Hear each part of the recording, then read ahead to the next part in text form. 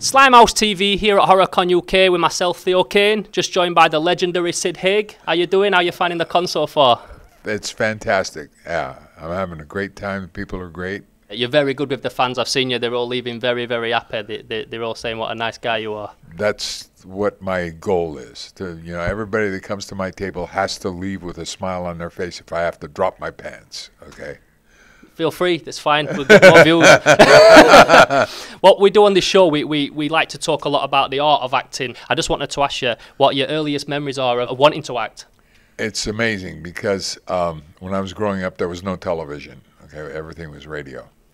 And I can remember that when I was nine years old, my parents and I were listening to the Oscar uh, awards, okay? And at the age of nine, I made an acceptance speech during the commercial, okay? And my parents were laughing and everything. It was funny. But that kind of set the tone for where I was going, you know? And when I was young, uh, I was very clumsy and uh, I could trip over a dime, you know. And so they decided that I should take dancing classes. So I went and took dancing classes. And I loved it. I thought it was the greatest thing in the world. And when I was seven years old, I was getting paid to dance. Okay. And uh, from there, I went into music and uh, then into high school, into acting and still music.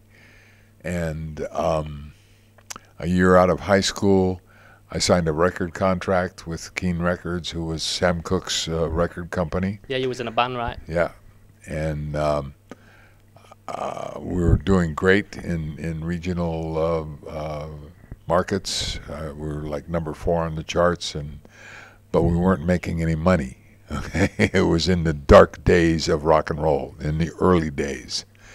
Um, and so at that age, I was smart enough to know that this was not a good thing. So I just backed out.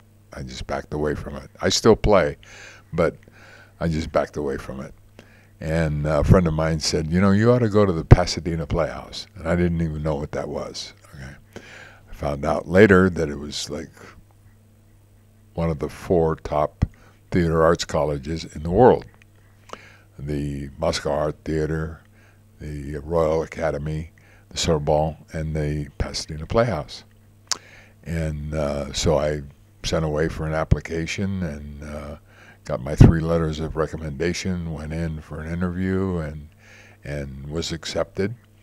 And uh, starting to really learn what it is to take words off a page and breathe life into them, you know. And um, things just kicked off from there, and I started working.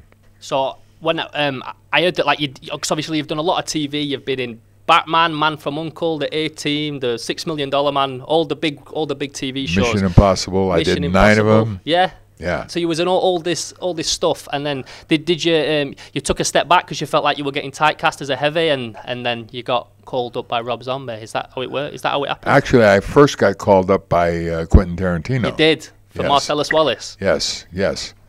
And uh, I had a big conversation with my agents, yeah. telling them, you know, that I'm tired of doing television because it's just a grind. And at that point in time, television was just a, a distraction, okay, and to keep the audience interested enough to get to the next commercial. Okay, that's what it was. And you just ground out the work and ground out the work, and there was very little creativity and I just didn't want to be a part of that anymore. I, wanted something with more meat to do, you know. And so I got um, invited to audition for Pulp Fiction. Went in, met Quentin Tarantino, and he said, "You know, I just I love your work." And I said, "Well, thank you. It's good to know that people like you know what you do." He said, "No, look around." And I looked around in the office, and he had six one sheets from different films, and I was in every one of them. Really? And he made me sign one of the uh, one sheets before I left the office.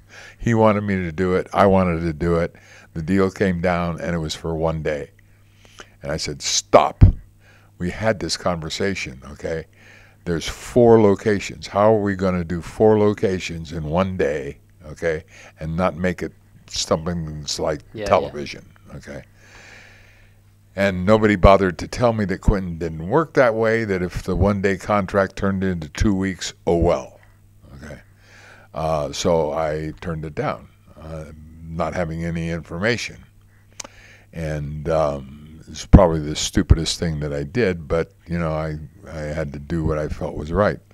And um, so that didn't, that didn't work out, but I did get a call at my house from Quentin Tarantino at one point I still to this day do not know how he got my phone number. He's, I'm sure he gets what he wants. He's yeah, it's, it's like He's the CIA, guy. you know, yeah, get yeah. me Sid Haig, okay.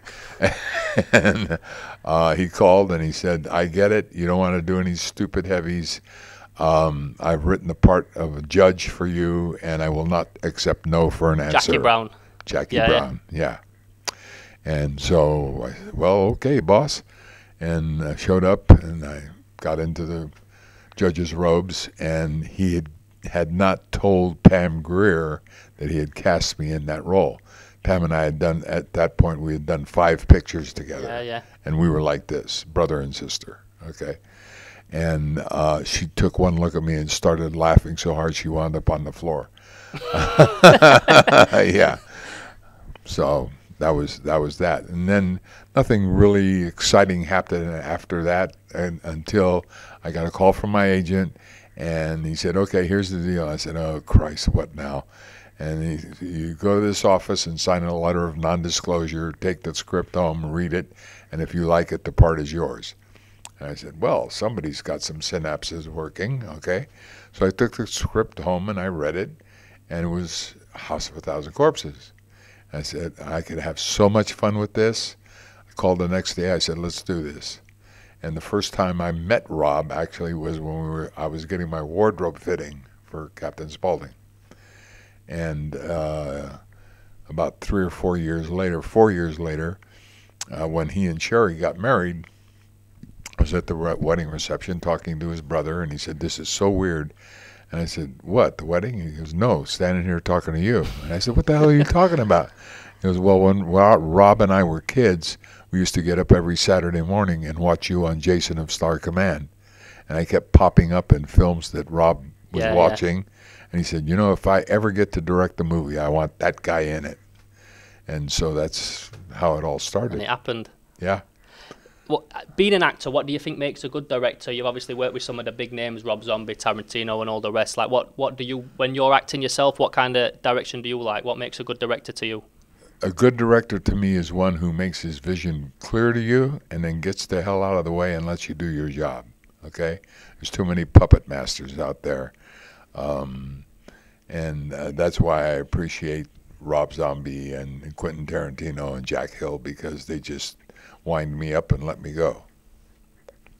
Uh, uh when I was um, listening to your Q and A, you said that a lot of you like to do a lot of um, non-scripted stuff, a lot uh-huh. of ad lib, and, and not too, like the tutti fucking frutti, all that line that all yeah. came like off the top when you were just ad libbing stuff. Do you like to work that way? Oh yeah, you know the uh, uh, the menu to uh, House of a Thousand Corpses. Okay, I got the script for that at midnight the night before we were supposed to start shooting it, and it's like five minutes long. And I went in the next day to Rob and I said, "Are you crazy? I can't memorize all of this in you know a couple of hours." He goes, "Well, do you understand where it has to go and you know what the high points are?" I said, "Yeah." So he handed me a jelly donut and a pornographic magazine and said, "Go." So I just ad libbed the whole thing. You just come up with it all on the spot like that. Yeah, that's wicked. Um, and being being an actor yourself, it took you was you was in the industry for a long, long time, but it wasn't until there was a certain point where you actually were elevated to being like a recognizable face in cinema. What would your advice be to other people that are wanting to get into acting that, that might have been doing it for a while but are still struggling to get the kind of roles that they want? Okay, this is something, this is a line of Winston Churchill's, okay, to graduating uh, class of Oxford, I don't know what year it was, but he came to the podium and he said these words never quit. Never, never, never quit. And he walked off stage. And that's the deal. Never quit. Keep going. Do never, never have a backup plan because nobody's backup plan is easier than it was than the original thought of what it is that you want to do. Okay, and when you back up, your dream dies. That's it. And uh, what's next for today? What can we look forward to next? What what have you got coming up? I have four films in the can right now. Um, Death House, uh, High on the Hog, uh, Cynthia, and uh, a film called Abruptio. And then this summer I'm doing a couple of more films. Awesome. It seems like when the fans are coming at the con, like you don't stop. I said, Sid, do you want a break? You're like, I don't take no fucking break. I'm here to sign autographs. That's what I do. And you're working all the time. You're doing so much work. How important is it, you think, to just keep going and keep and non-stop? You have you have to keep going because when when you stop, that's it. It's uh, that's the end. You you subconsciously say, "I give up," okay, and I never give up. That's it. I mean, when I was in school, I was living in the men's dorm, okay, and in the kitchen we had little cubicles that we kept our food in. Nobody kept anything in the refrigerator because it would get stolen.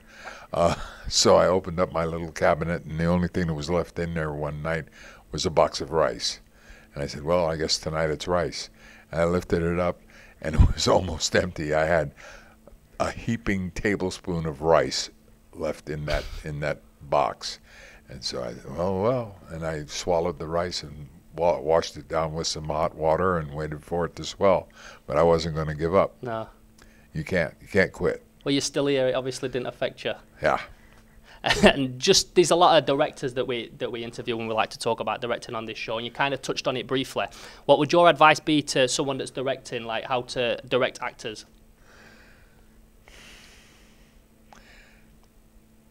As a director, you have to first of all do your homework, do your research, know what it is that the story is about and what what you're going to tell the people and then convey that to your actors and to your crew and let them do their work.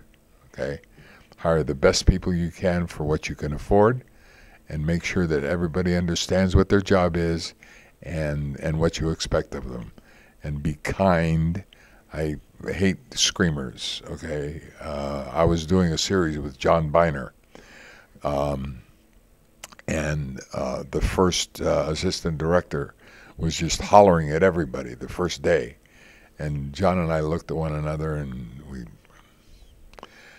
and the second day the guy was gone. Yeah. Okay, because that just disrupts everything. It just turns everything sour. Yeah, you yeah. know? Need to keep, morale high Yes, keep the morale high, keep the attitude good. You're creating something. Come on. You're you're you're breathing life into into characters. So, you know, you have to keep a positive attitude. Wicked. Well, it's been really good to talk to you, Sid. I'm a massive fan, and I can't wait to see what you've got coming out next. Thank you for coming Okay. to HorrorCon All uh, and for doing this quick interview with us. Uh, that's Slimehouse TV. If you want to keep up to date with any of the other interviews, it's www.slimehousetv.com and horrorconventions.co.uk if you want to get tickets for next year. Sid Haig. Thank, Thank you you. very much. Yeah. Okay.